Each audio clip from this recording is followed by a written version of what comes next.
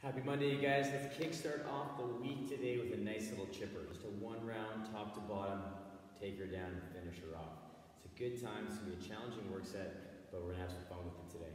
Uh, to get us there, what we have for you guys, plank for three seconds, a down dog for three to five reps. Into our plank, knee to nose for 10 to 20 alternating reps. Humeral glide to knee push up for three to five.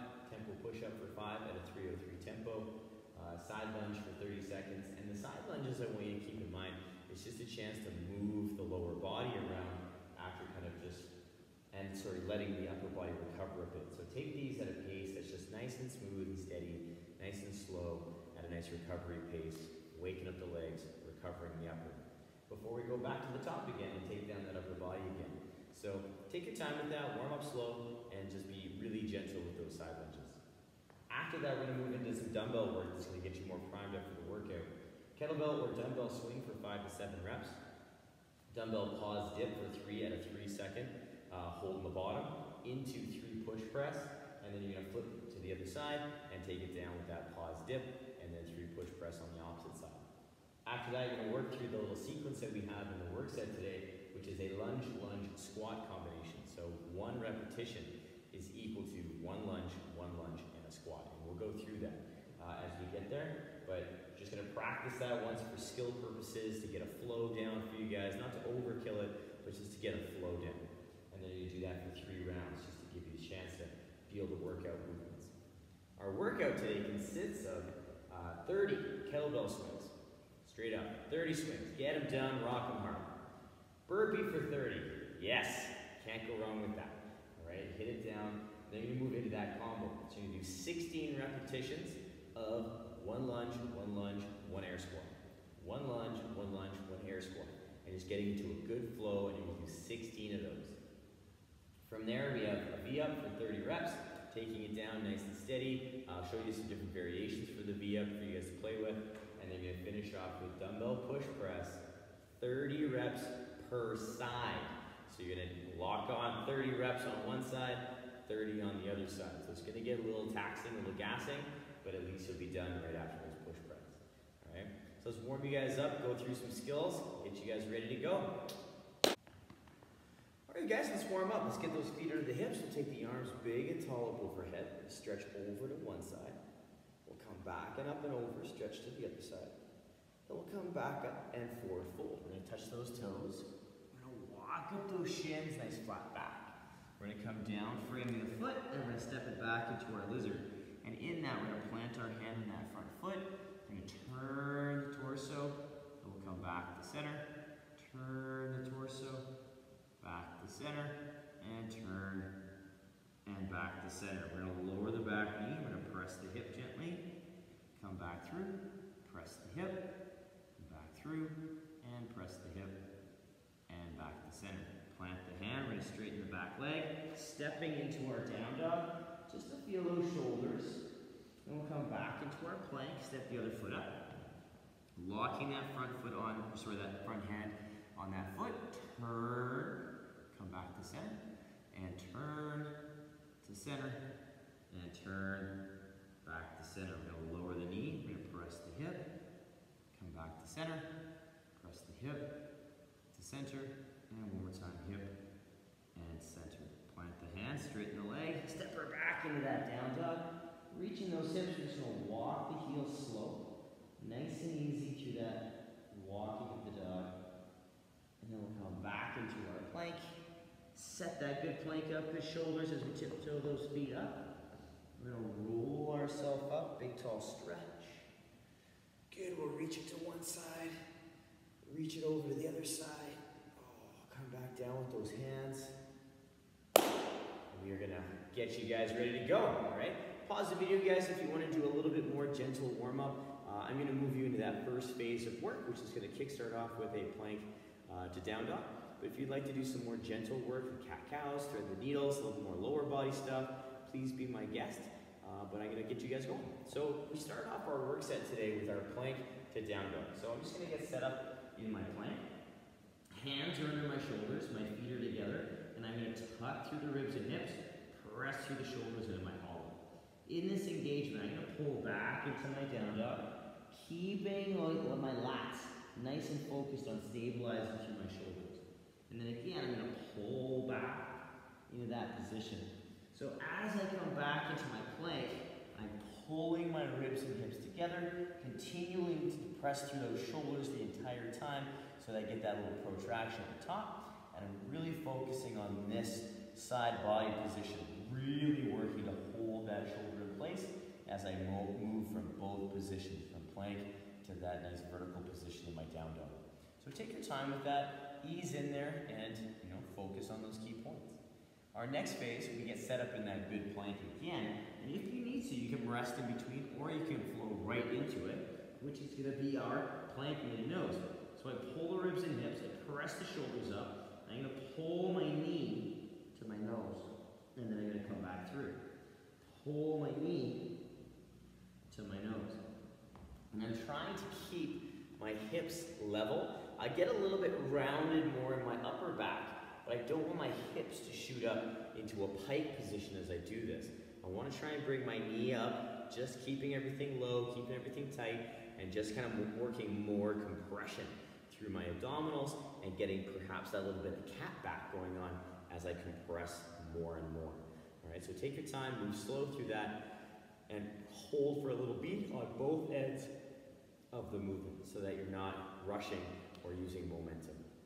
Our next exercise takes us down to the floor, which is going to be our humeral glide to knee push-up. So I lay down on the floor, and get my hands nice and tucked beside my body. I'm going to get set here. So my hands are stacked under my elbows at my push-up position. I'm going to pull my shoulders forward, like I'm trying to touch into the floor, to give me that sense of where I don't want to be in my, my push-up. And then I'm going to pull them back, which is going to get me nice and set. And then I'm going to pull my ribs and hips together, which locks everything in. And then I press. From here, I'm going to maintain this set shoulder position. And I'm going to lower down, keeping that nice tension all the way through. I relax again. I pull my shoulders forward. I pull them back. I pull my ribs and hips in. Maintain that shoulder position. And then lower down, nice and smooth. So we want to make sure that we're keeping that shoulder down as I set this position back and down.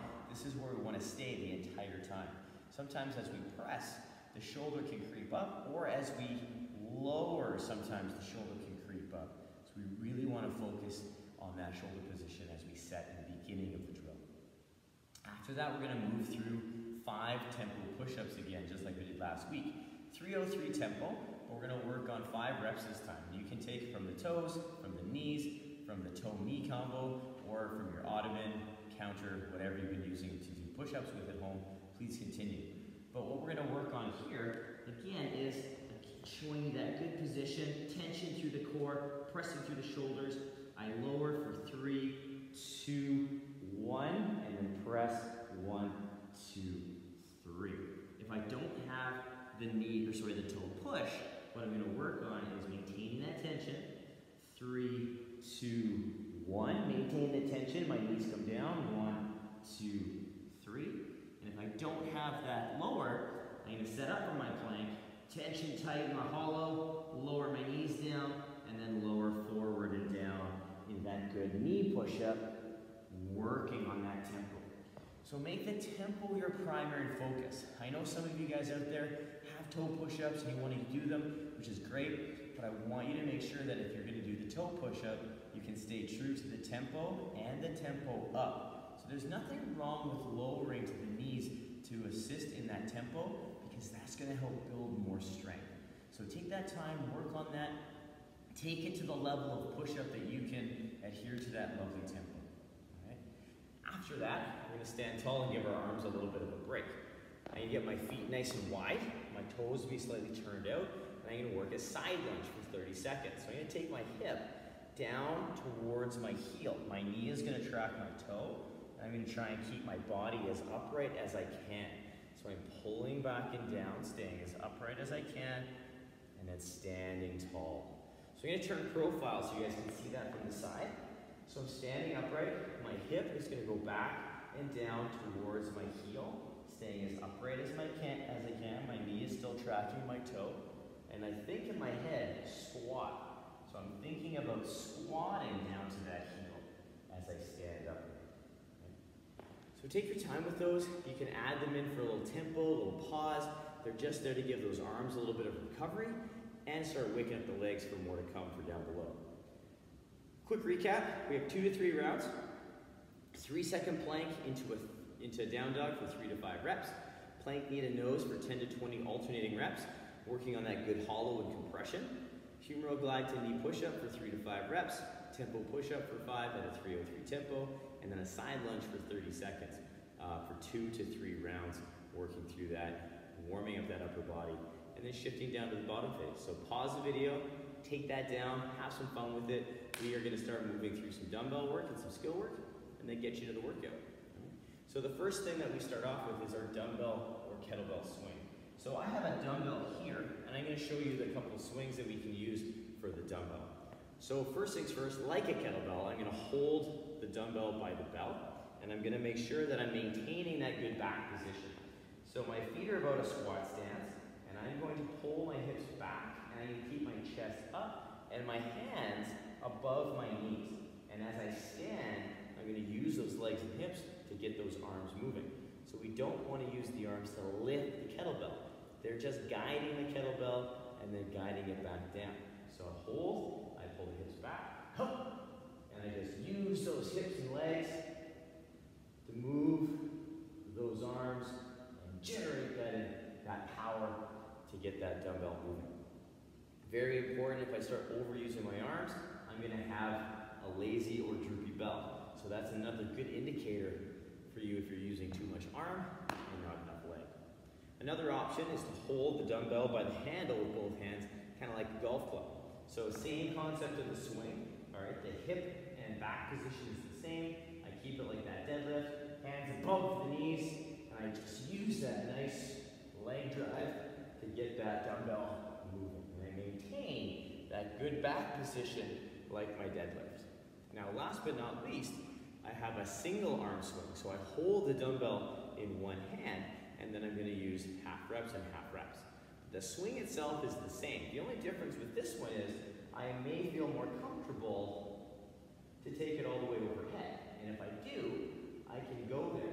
So I'm gonna use this swing, the kettlebell swing action is the same, but I'm gonna use this to get comfortable overhead and exploring that overhead position. And then you can just switch and work on that swing with the other hand. So you just do half reps, half reps. Key thing is the swing mechanics are all the same regardless of the uh, option that you choose and how you hold the kettlebell. All the same movement in terms of the mechanics to get the kettlebell or dumbbell moving. After that, we're gonna clean it up. So we clean the dumbbell up to the shoulder, and I'm gonna keep it in my front rack. So my elbow's gonna be up slightly in that good front rack. The dumbbell's gonna be resting on my shoulder. My feet are under my hips or slightly outside. Maybe a slight turn over the toe. I'm gonna squeeze my glutes, squeeze my ribs, get set, and I'm gonna work up pause dip. So I'm gonna take my hips down, and my knees gonna go slightly out. My body's gonna stay upright, shoulder over the hip, and my weight to the midfoot. Stand. And I'm gonna work that for three reps.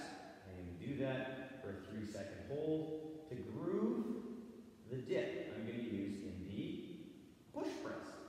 So the only difference in the dip with the push press and the pause dip drill is that I'm not pausing in the bottom. I'm using the momentum of that dip and drive to move that dumbbell overhead. So you can play around with that for three reps on one side, into your push press, set on the other side, three pause dips on the other side, into three push press, and it's gonna give you the feel that you've done a few more push press, but it's there to, to work on skill. So really focus in on that skill work. Our next exercise on the list is right out of the workout. It's our, it's our kind of flow uh, with our lunge and squat. So I'm gonna turn profile so you guys can see this. I'm gonna stand up nice and tall, and I'm gonna do one lunge, lunge, squat stance, squat. And that's one rep. So my squat and lunge mechanics for any other type of movement are the same. As I step for my lunge, I want to keep my knee stacked over top of my heel. I lower down, keeping that knee over top of the heel, the back knee, hip, shoulder, all in alignment, and I come back up. If you're more comfortable with the back lunge in terms of alignment, you can, you can do that too. You'll just step back and down, back and down, stepping into your squat stance, squat and tall. So back lunge, totally fine, whatever you want to use. These are unloaded. They're just meant to be really steady and flowy, all right? Squat mechanics are the same as any other squat. So we have our regular squat stance. I'm gonna try and pull my hips to my heels as I keep my body upright and my knees track the toes. So there's a little bit of pressure going out just so that my knees track those toes. And I try and keep as upright as I can and stand. Feet are nice and flat, nice and solid, and I work that good balance. As a quick recap for you guys again, we have three rounds of that bottom piece, five to seven uh, dumbbell or kettlebell swings, regardless of you know what kind of handle you're holding. We're just looking between three to, or sorry, five to seven. So if you're doing a single arm, just make sure you have the reps per side. In that, you're gonna move into your dumbbell pause dip for three at three second hold, and then three push press. Repeat on the other side, taking down that lunge, lunge squat, just one time through that sequence, and repeat three rounds. If you need a few more extra rounds of that, please do so. Take it down, warm yourself up, make sure you're ready to go for our workout that's about to come. So pause the video, take that down, come join me. We're gonna talk about the workout. The workout starts with 30 kettlebell swings or dumbbell swings, and any variation that you would like to use, you can kind of play with in this work set. If you're doing the single arm, you can kind of alternate every five. You can do half on one side, half on the other. Just make sure you're using both sides. After that, though, we have our burpee. So our burpee, we have multiple options for this. I'm going to show you those options now. So I'm going to face sideways. I'm going to get my hands down to the floor. I'm going to jump my feet back, lower down, pop up. The other variation, I'm going to lower down with a step into that good tripod, and I'm going to step up. Or I could use any variation or hybrid of the step and the jump in that work set. The key thing is as we're lowering down, we're not doing a strict push-up, but we are hitting the bottom of a push-up. So we need to make sure that that wrist and elbow are nice and stacked and that we're coming slightly forward and down, staying nice and tight through the midsection like we do in our humeral glide and or tempo push-up drill. Our other options are a non-push-up variation, which are a squat thrust. So we have our jump back variation. We have our step back, jump in variation. We have our jump back, step in. Or we have our step back, step in. All of those are very similar in the sense they all have a solid plank in it. So we hit that good plank, jump our feet or step our feet in, and maintain that strong hollow position and those strong legs when we jump or step into that plank. So make sure we're not hitting that sway back, all right? We wanna make sure we're tight, and then pop back in and finish the rep. Arms are straight, nice and strong, stacked under the shoulder the entire time, ready for that nice jump in. After the burpee, we go through our lunge lunge squat combo, forward or back. Again, if you'd like some kind of review on that, pull back to that opening warm up that we did, where we practice that, that sequence. The goal here is just to take it nice and steady, nice and smooth. You have 16 reps of that combo, and, and you work through that nice and smooth. The V-up now, we have lots of options for the V-up. So first things first, we have our full double foot V-up. I stretch out nice and long, I'm gonna snap up, up. Or if the two is not quite going down, you can do a single. You can also do a tuck. So I'm coming up with my legs and my arms, or my upper body, sorry. And I have a single leg tuck. All right, upper body meeting the leg in the middle. Or if that's too much hinging, I can work on my hollow up. So I squeeze into my hollow and then lower down. I can do a single variation, back and forth.